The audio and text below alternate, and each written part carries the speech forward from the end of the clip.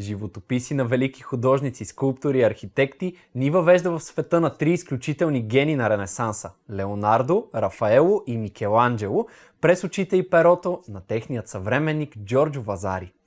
Книгата представя не само творческият опит на тези майстори, но и техният живот, амбиции и стремеж към вечността.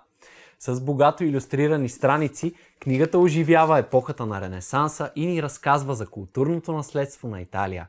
Авторът успява да ни разкаже истории, които излъчват духа и геният на Леонардо, страстта на Рафаело към славата и красотата, както и перфекционизма на Микеланджело. Тази книга ни предоставя възможност да се потопим във времето на тези изключителни художници и архитекти, предоставяйки ни ново разбиране за тях и творчеството им.